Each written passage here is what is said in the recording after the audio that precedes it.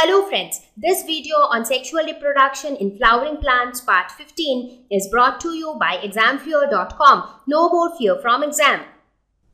So now that we spoke about all the pre-fertilization events, that is how the gametes are formed, uh, the male gametes and the female gametes, how gamete transfer takes place by pollination. So now the male gamete and the female gamete are formed, they are together for the fusion to take place. So now we will see what happens during fertilization.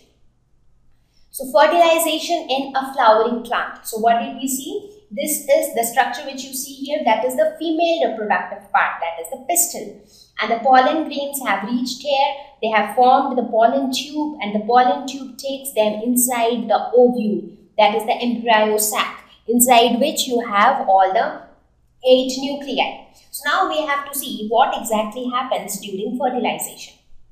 So two male gametes enter into the cytoplasm of synergid. As I said, the pollen tube enters into the synergid, right?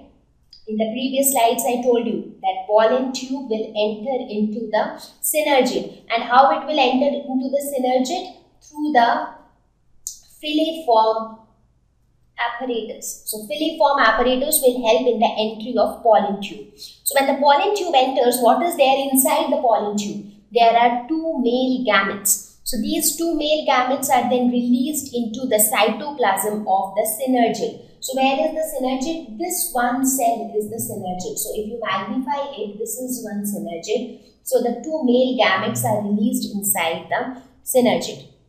Now what will happen to these two male gametes? Now one male gamete will fuse with the egg cell. So what will happen when they fuse? The result will be a zygote. So zygote will be formed. Now this male gamete is haploid. Egg cell is also haploid but when they fuse together zygote is formed and this zygote is diploid.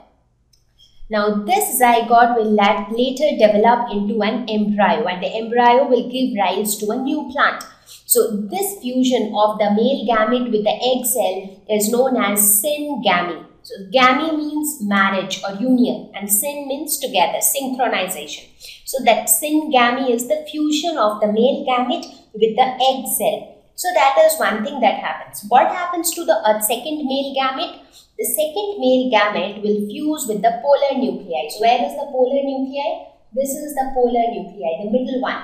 You have two nuclei, right? So they are the polar nuclei.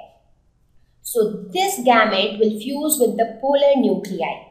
So what will be formed now? The male gamete is haploid. This polar nuclei are also haploid, each of them.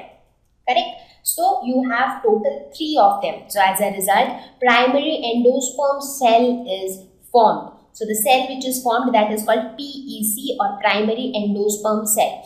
Now what will be the ploidy of this PEC? Here three haploid nuclei are fusing together. So it will not be diploid but it will be triploid. That is it is going to be 3n that is triploid.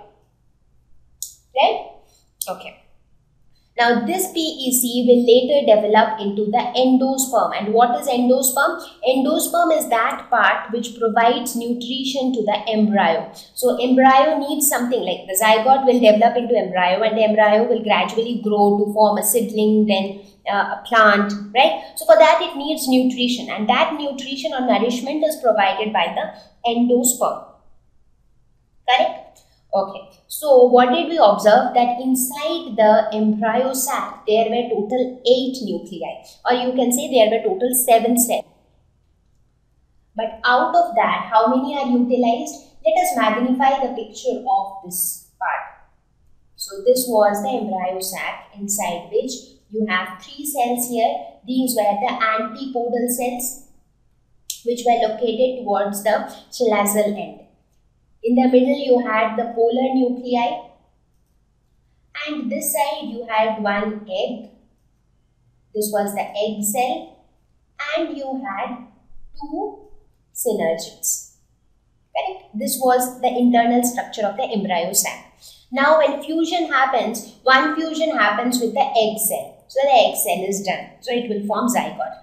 Another fusion happens with the polar nuclei. It forms PEC. That is also done. What happens to these antipodals and the synergids?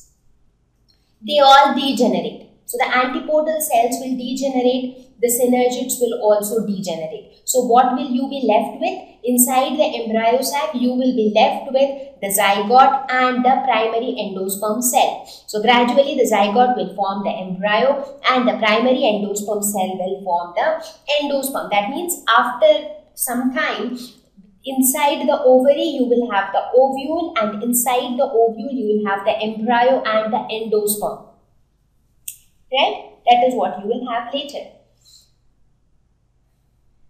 here we come to one of the very important terms that is double fertilization. This is often used to describe fertilization in flowering plants. Now why do we have this term double? That is because just now we saw that there are two fusions which are taking place inside the embryo sac. Right? We just now saw what were those two types of fusion? One was the syngamy and what was the other one? The other one was the triple fusion. So here if you see, this is how it enters, this is how your, this is the polar nuclei and this is the egg cell right? Or the this is the nuclei of the egg cell.